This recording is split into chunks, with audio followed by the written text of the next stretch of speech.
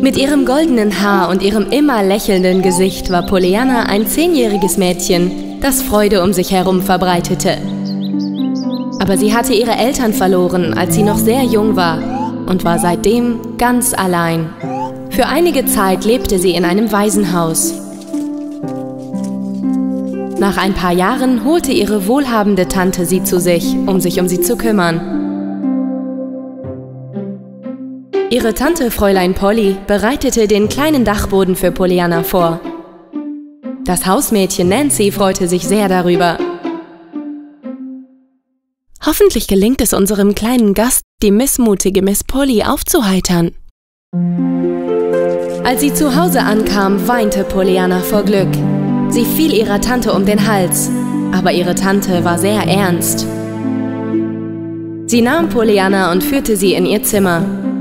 Pollyanna war fassungslos, als sie die Größe und den Reichtum dieses Hauses sah. Ihre Tante zeigte ihr ihr Zimmer auf dem Dachboden. Dies ist dein Zimmer und Abendessen gibt es um 18 Uhr. Komm nicht zu spät. Pollyanna mochte ihr Zimmer sehr. Obwohl sie alle anderen Räume im Haus gesehen hatte, fragte sich Pollyanna nicht einmal, warum ihre Tante ihr das kleine Zimmer auf dem Dachboden gegeben hatte.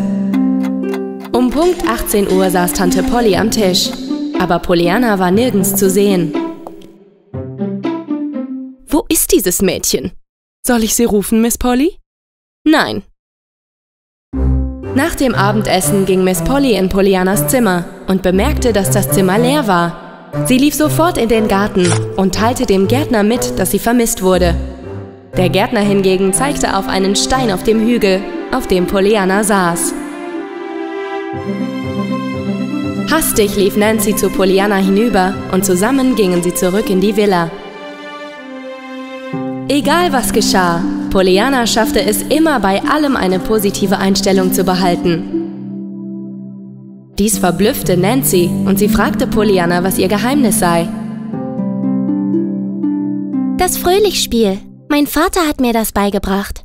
Als ich jung war, hat uns eine sehr hilfsbereite Frau einmal Krücken geschickt. Als ich nach dem Grund fragte, sagte sie, dass, solange wir sie sehen würden, wir die Tatsache schätzen würden, dass wir sie nicht brauchen und uns darüber freuen würden. Es ist wegen dieses Tages, dass, wenn immer ich und mein Papa das Gefühl haben, dass wir verzweifeln, wir an diesen Tag denken und einen Grund finden, froh zu sein. Am späten Abend stand Pollyanna in ihrem Zimmer auf ihrem Bett und weinte hysterisch. Mein Vater, du wohnst bei den Engeln. Ich versuche unser Spiel zu spielen. Das weißt du. Aber aber wenn du ganz alleine auf einem Dachboden im Dunkeln festsitzen würdest, würde es dir auch schwer fallen, fröhlich zu sein. Am nächsten Tag ging Pollyanna die Treppe hinunter in den Garten und umarmte ihre Tante. Tante, geliebte Tante, heute Morgen bin ich so dankbar, dass ich am Leben bin. Sagen wir so guten Morgen? Nachdem Tante Polly dies gesagt hatte, drehte sie sich um und ging. Der alte Gärtner beobachtete sie aus der Ferne und Tränen füllten seine Augen. Dann ging er zu Pollyanna und sagte ihr, wie sehr sie wie ihre Mutter aussah. Zu wissen, dass der Gärtner ihre Mutter gekannt hatte, machte Pollyanna sehr glücklich. Im Laufe der Zeit wurde das Leben für Pollyanna in der Villa besser.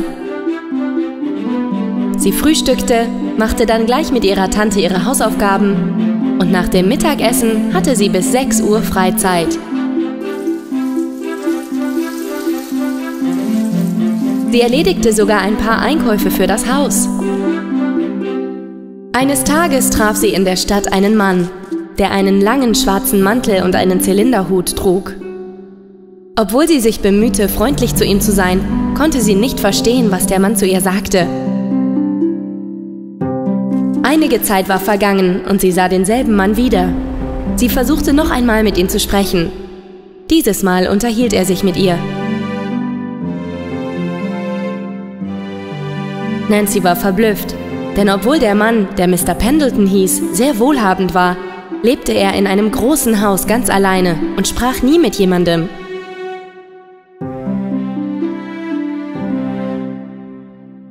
Am nächsten Tag kam Pollyanna mit einem sehr schwachen Hund nach Hause. Miss Polly sagte kein Wort. Aber am folgenden Tag brachte sie einen Jungen nach Hause und Miss Polly war extrem verärgert.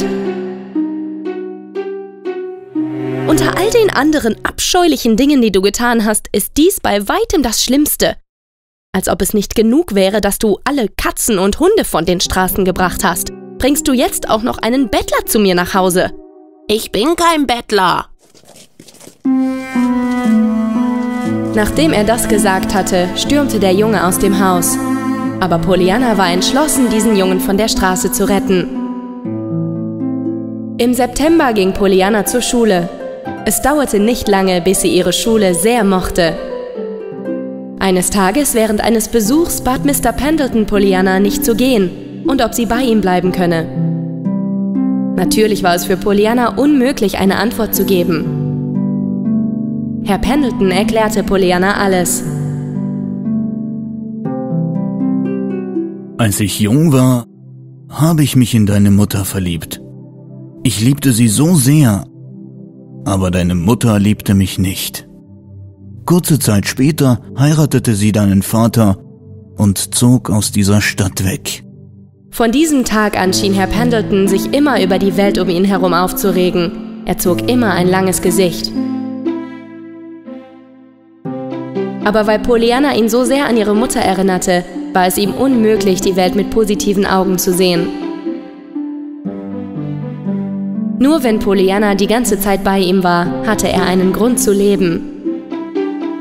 Zieh neben mir ein und wir können gemeinsam glücklich sein. Du kannst mich als deinen Vater sehen und ich werde dich wie meine Tochter behandeln.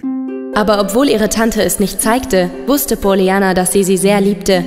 Und sie wollte ihre Tante nicht verlassen. Sie wusste nicht, wie sie dies Herr Pendleton sagen sollte. Aber schließlich fand sie eine Lösung. Sie wollte, dass Herr Pendleton Jimmy aufnahm, den Jungen, dem ihre Tante nicht helfen wollte. Und dachte, dass das sowohl Herr Pendleton als auch Jimmy glücklich machen würde und Pollyanna sie beide öfter besuchen könnte. Herr Pendleton bat sie, ihn nächste Woche zusammen mit Jimmy besuchen zu kommen. Aber nach ein paar Tagen kam es zu einem sehr unglücklichen Unfall. Ein Auto fuhr Pollyanna an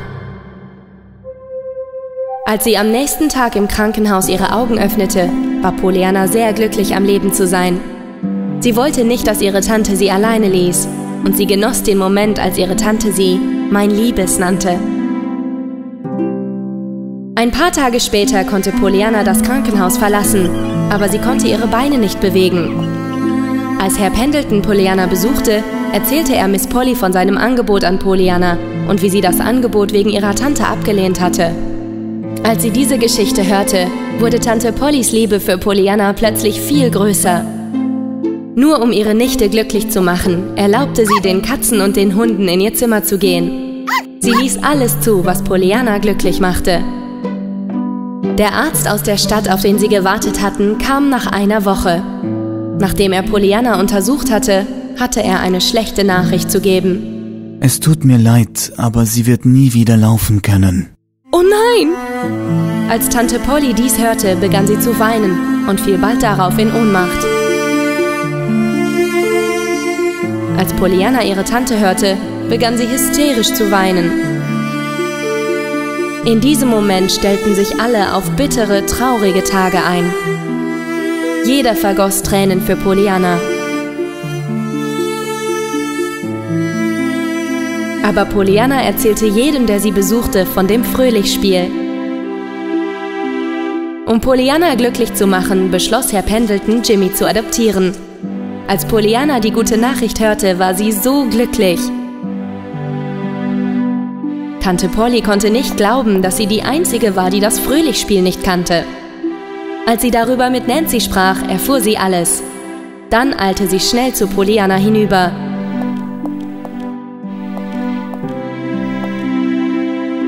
Also dein Fröhlichspiel.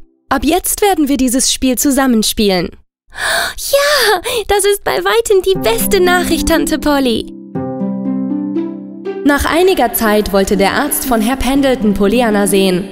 Aber es gab ein Problem, weil er vor vielen Jahren einen Streit mit Tante Polly gehabt hatte.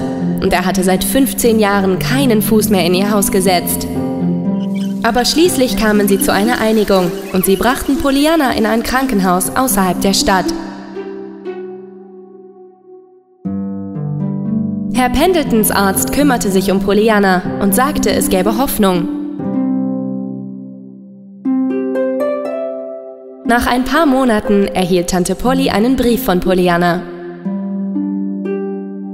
Liebste Tante Polly, ich habe gute Neuigkeiten. Meine Therapie ist erfolgreich gewesen. Ich kann endlich wieder gehen. Die Ärzte hier sagen, dass ich bald nach Hause zurückkehren kann. Ich wünschte, ich könnte den ganzen Weg laufen. Oh, wie glücklich ich bin. Alles macht mich glücklich. In der Tat bin ich sogar froh, dass ich meine Beine für einige Zeit nicht nutzen konnte. Wenn dies nicht passiert wäre, würde ich sie niemals so sehr schätzen wie jetzt.